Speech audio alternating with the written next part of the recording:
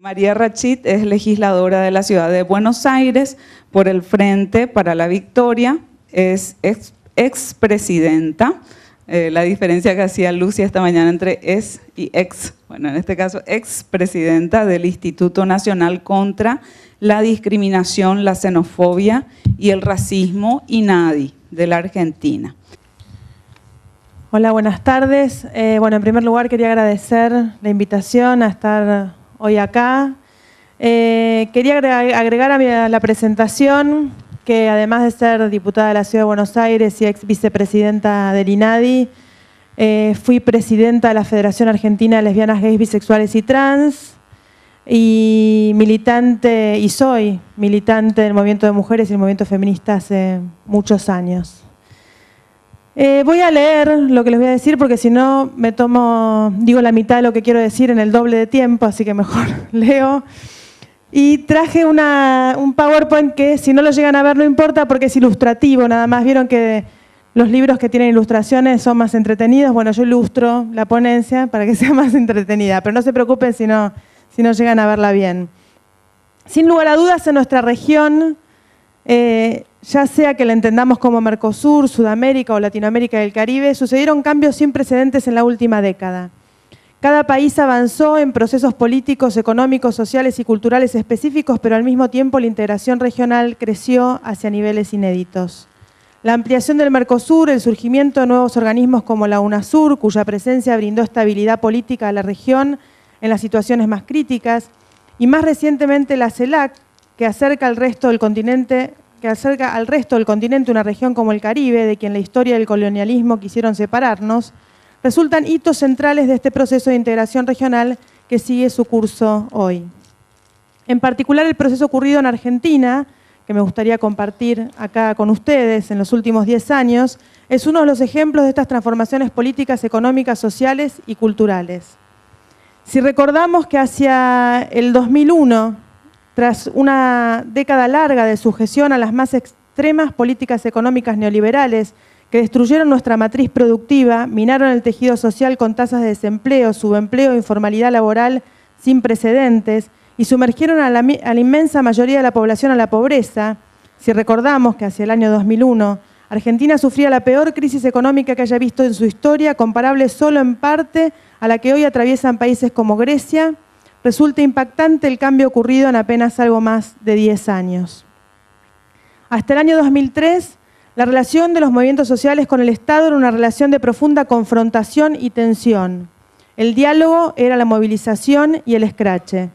A partir del gobierno de Néstor Kirchner y ahora de Cristina Fernández, Argentina es un país con una industria en crecimiento, tasas de, empleo, de desempleo bajas para los estándares internacionales si bien no con pocas dificultades estructurales para disminuir la informalidad.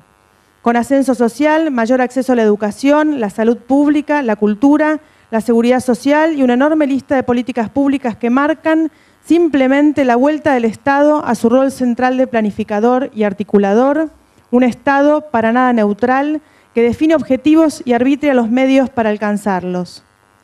Sin duda, mucho se podría hablar sobre políticas que tienden a una mayor equidad en la distribución del ingreso y la riqueza. Seguramente la más significativa haya sido la asignación universal por hijo, pero incluso una medida de neto corte económico, como la asignación universal por hijo, no agota su potencial en la redistribución de la riqueza. Sabido es que uno de los efectos inmediatos de la asignación universal por hijo en Argentina fue el aumento de la matrícula escolar y también un mayor cumplimiento del calendario de vacunación, por, poner solo algunos ejemplos. Es decir, que si bien hubo una profunda transformación económica de la mano de una transformación política con gobiernos que, como el de Néstor Kirchner primero y Cristina Fernández después, entendieron que el Estado debía ocupar ese rol central en todos los ámbitos de la vida pública, seguramente las principales manifestaciones de esta transformación sean sociales y culturales. Por cierto, hay toda una serie de decisiones que apuntaron directamente a crear una nueva cultura de la inclusión, la diversidad y la no discriminación, de la igualdad en su mejor acepción. Y este cambio cultural que sigue hoy muy vivo está transformando la estructura de la sociedad, de las familias, de concepciones como sobre lo natural o lo justo y por supuesto al menos afectando la matriz patriarcal de nuestras sociedades.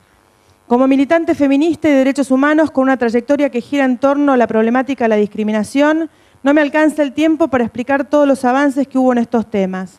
Por eso voy a nombrar algunos hitos tan importantes que aún hoy no podemos apreciar su real magnitud.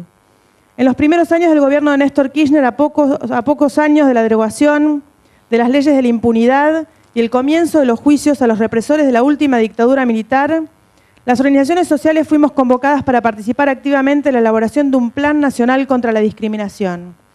Hasta aquel entonces, en esa materia solo se contaba con una ley, de actos discriminatorios del año 1988 que estaba y sigue estando bastante desactualizada.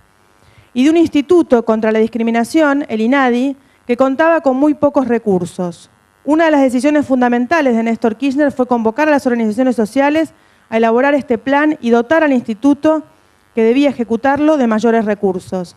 Cuando ingresamos al INADI en el 2006 ya, eh, este instituto contaba nada más que con 33 personas en su personal, sede solamente en la ciudad de Buenos Aires y un presupuesto de 1.600.000 pesos. Cuando empezamos a trabajar y continuamos el proceso de transformación del instituto, el INADI llegó a tener más de 500 personas trabajando, sede en todas las provincias del país y más de 50 millones de presupuesto para el organismo. Sinceramente, algunas y algunos respondimos con mucha desconfianza a esa primer convocatoria para elaborar el Plan Nacional contra la Discriminación. Y no es para menos, la verdad es que la relación de las organizaciones sociales con los gobiernos de la década anterior habían sido entre malas y pésimas. La idea de que el Estado quería escucharnos, incluir nuestras propuestas y llevarlas adelante era como mínimo sospechosa. Pero la verdad es que nos reunimos con funcionarios, presentamos propuestas y diseñamos este plan nacional y todos nuestros diagnósticos y propuestas fueron incluidos en la versión final. Al haber sido redactado por las organizaciones, este plan tiene conceptos fundamentales y una mirada muy particular, por lo que hasta el día de hoy sigue siendo un material de referencia. Pero terminamos de convencernos de que los cambios venían en serio cuando Néstor Kirchner firmó y publicó el plan como decreto presidencial. Es decir, en la práctica esas definiciones, esas propuestas, esa mirada sobre la cuestión de la discriminación alcanzó el rango de un decreto ley. Ya no éramos solo las organizaciones las que decíamos cuál era la situación de la discriminación en Argentina y cuáles eran las políticas públicas que había que desarrollar para erradicarla, sino que era el presidente de la nación el que tomaba por primera vez en la historia nuestra voz. Tal vez hoy no parezca gran cosa, pero en aquel contexto, tras años de negación, invisibilidad, de tener al Estado como un enemigo, ese gesto fue mucho más que simbólico.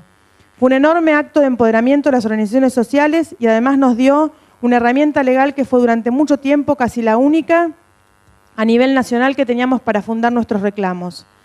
Por ejemplo, en materia de diversidad sexual se hablaba de reconocimiento de las parejas del mismo sexo con los mismos derechos que las heterosexuales, aunque aún en ese momento ni las organizaciones nos atrevíamos a nombrar al matrimonio, y se reconocían las gravísimas condiciones de vida de las personas trans.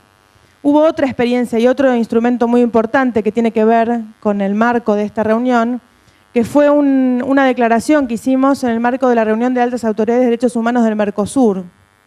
En ese momento me convocaron eh, a participar como parte del consejo asesor del INADI y cuando, cuando vengo como asesora, eh, había un punto en la agenda, por primera vez en una reunión del Mercosur, por primera vez en una reunión internacional, que decía diversidad sexual. Y una que venía como militante y como organización decía, bueno, ¿qué van a decir los representantes de los distintos países en este punto? Eh, no habíamos escuchado a funcionarios de los distintos países del Mercosur hablar de la diversidad sexual, del diagnóstico de la situación, de las políticas públicas que había que, había que llevar adelante.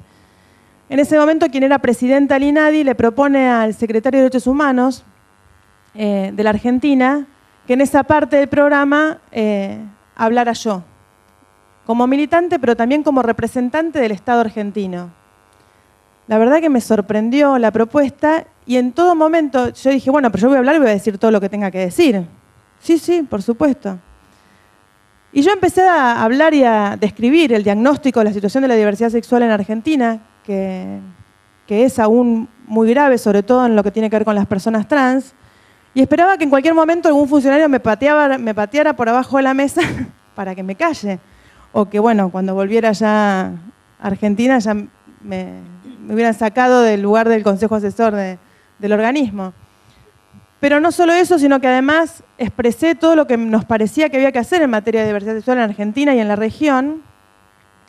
Y, la verdad es que lo que hubo es una gran celebración, no solamente por parte del gobierno argentino, sino también por parte de otros gobiernos que estaban presentes ahí, como el de Brasil, el de Uruguay.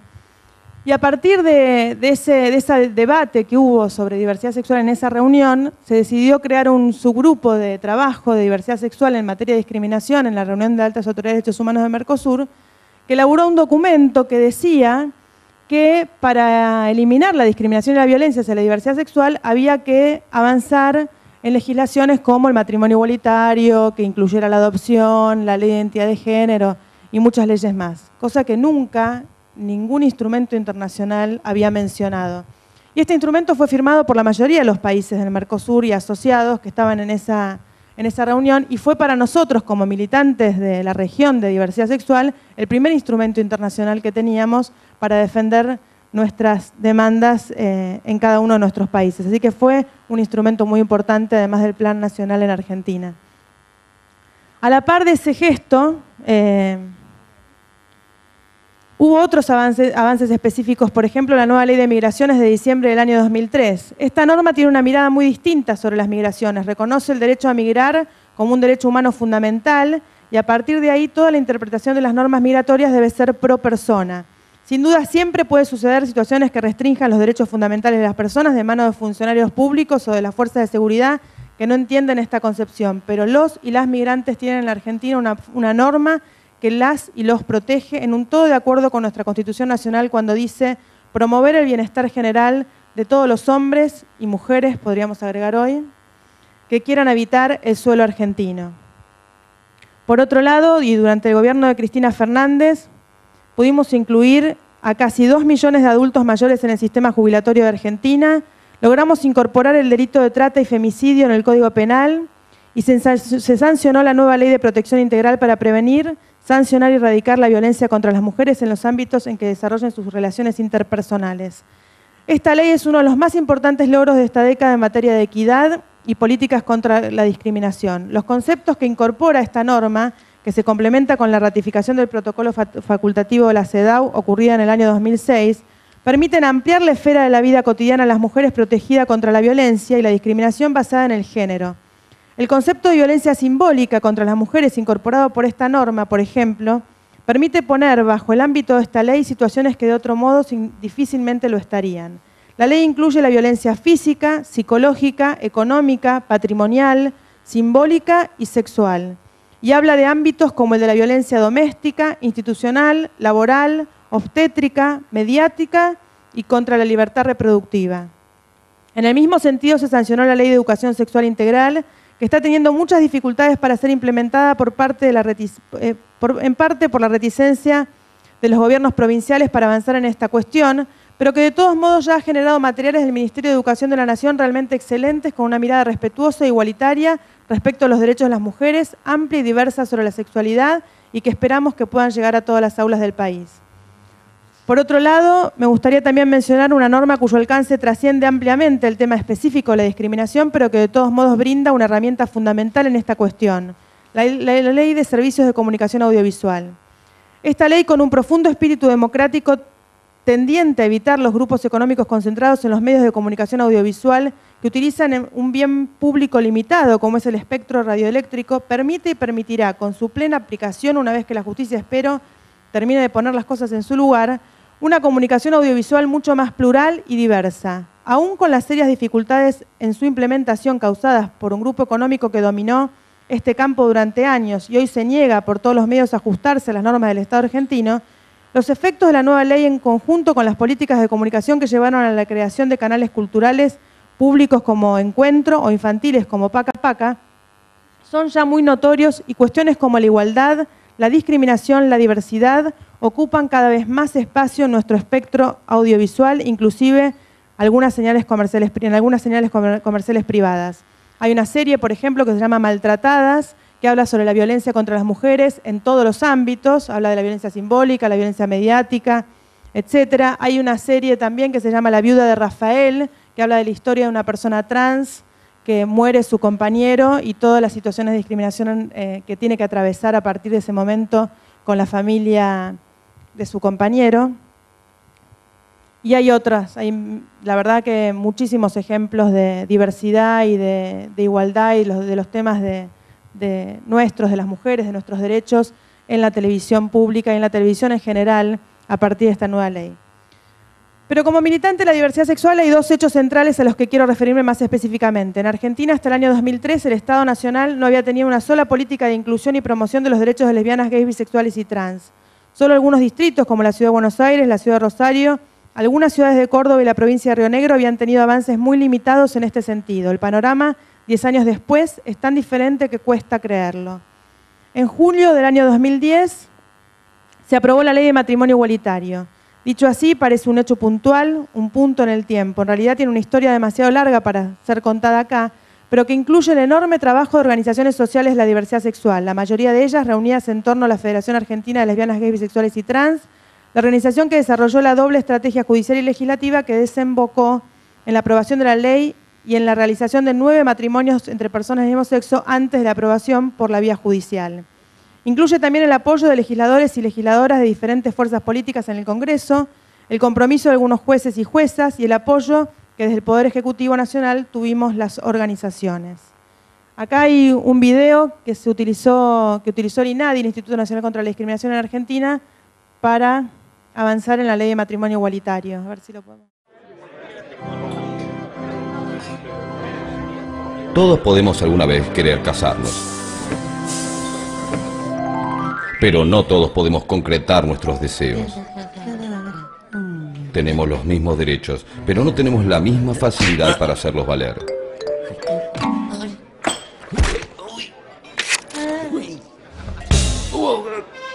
El amor que cada uno de nosotros puede sentir por otro ya merece una ley que nos trate a todos por igual. Para que todos los que quieran formalizar su amor puedan lograrlo. Ley de matrimonio entre personas de un mismo sexo. El mismo amor, los mismos derechos.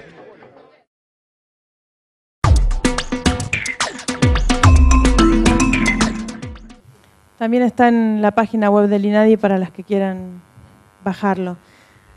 Bueno, y tras la ley de matrimonio, nuestro reclamo por una ley de identidad de género que reconociera el derecho de las personas trans a, tener una documentación acorde a su género y su nombre elegido, así como un acceso integral a la salud, no se hizo esperar. Así hoy, y gracias al trabajo de las organizaciones y el compromiso político del Congreso y del Poder Ejecutivo, que sigue ampliando el alcance de la ley de identidad de género mediante la reglamentación para incluir, por ejemplo, a las personas migrantes, la Argentina tiene la ley de identidad de género más avanzada del mundo, una norma que no les exige a las personas trans pasar por ningún tipo de diagnóstico médico o psicológico que las patologice, ni presentar testigos, ni esperar un cierto tiempo. Solo se requiere la manifestación de voluntad de la persona interesada y además garantiza el acceso gratuito a todas las intervenciones quirúrgicas y tratamientos hormonales o del tipo que sean necesarios en la construcción corporal de la identidad y para garantizar la salud integral, tanto de las personas nacionales como también de las personas migrantes. Todavía es todo muy reciente y sin embargo los cambios inmediatos de estas dos leyes son profundos. En primer lugar, han modificado la percepción de la sociedad en su conjunto respecto a la diversidad sexual. La sociedad argentina celebró la aprobación de la ley de matrimonio igualitario. Esta bandera fue levantada por referentes sociales, culturales, estudiantiles, gremiales y políticos de todos los sectores y posiblemente por esto es que la ley de identidad de género se aprobó prácticamente por unanimidad. Es este momento producto del trabajo, en este momento, perdón, producto del trabajo las organizaciones como las que integra la, la Federación Argentina LGBT o la Mesa Nacional por la Igualdad, estamos logrando también la implementación de políticas públicas desde todos los ministerios que aceleren ese proceso de aceptación y respeto por la diversidad sexual. Argentina no es un caso aislado, sabemos que estos avances se están dando a nivel regional y las experiencias en cada país fortalecen al conjunto paso a paso. En muy poco tiempo, Uruguay, que ya contaba con el reconocimiento de algunos derechos para las parejas del mismo sexo, aprobó la ley de matrimonio igualitario. Brasil acaba de reconocer el, derecho al matrimonio igualitario por la vía judicial. En Colombia se debate en el Congreso tras un fallo de la Corte y existen posibilidades de que se aplique dentro de ese fallo aún sin el acuerdo del Congreso, que se, aplique, pronto ese fallo aún sin el acuerdo del Congreso. En Paraguay la justicia debe definir si inscribe un matrimonio entre dos hombres celebrado en Argentina gracias al trabajo conjunto de las organizaciones de ambos países. En Chile ya el debate se instaló y está claro que hay que reconocer derechos y quienes quieren frenar la igualdad proponen unión civil mientras que, por ejemplo, la candidata Michelle Bachelet propone avanzar con el matrimonio igualitario. Además, la ley argentina, la de identidad de género, está sirviendo como ejemplo en el mundo. Suecia, que tuvo la primera legislación en la década del 70, ya hoy obsoleta, la está tomando como ejemplo para una pronta reforma. Y las organizaciones y referentes trans de América Latina y el Caribe, reunidas en Red Lag Trans, están trabajando para transformarla en una realidad en cada uno de los países de la región. En definitiva, estamos en una etapa maravillosa de grandes avances y desafíos, también con dificultades y posibles retrocesos en algunos lugares.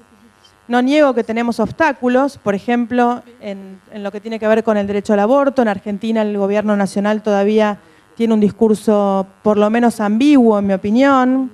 Tenemos otros, otros obstáculos, como por ejemplo ahora el nuevo Papa argentino, que nos viene, nos cae.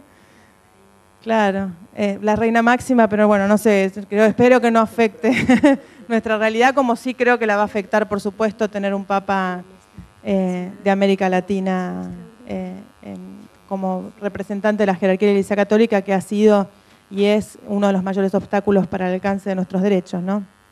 Aún así, está claro que la tendencia política regional es hacia la igualdad, la no discriminación y el respeto por la diversidad en todas sus formas. Y cada vez es más claro que este avance debemos darlo unidos, unidas y organizados y organizadas como región, porque eso nos hace más fuertes hacia adentro y hacia afuera. Porque no es casual que cuando estábamos divididos y divididas la situación era muy distinta y al sumar fuerzas la realidad se invirtió completamente. Debemos acompañar y profundizar estos procesos de integración regional desde los movimientos sociales. Espero que este breve resumen, seguramente incompleto, sobre los avances en materia de igualdad en Argentina en la última década nos sirva para seguir avanzando hacia una región más justa, diversa e igualitaria. Y para terminar, quería compartir las palabras de la presidenta cuando se, eh, votó la ley de identidad de género en Argentina, la, la presidenta Cristina Fernández.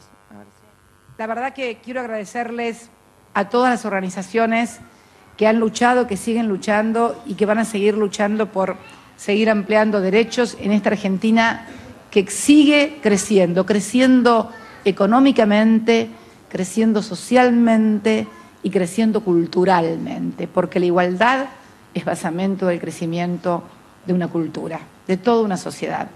Gracias y en todo caso, perdón por haber esperado tanto, como vos que tuviste que esperar 42 años. Pero bueno, gracias a todos y a todas.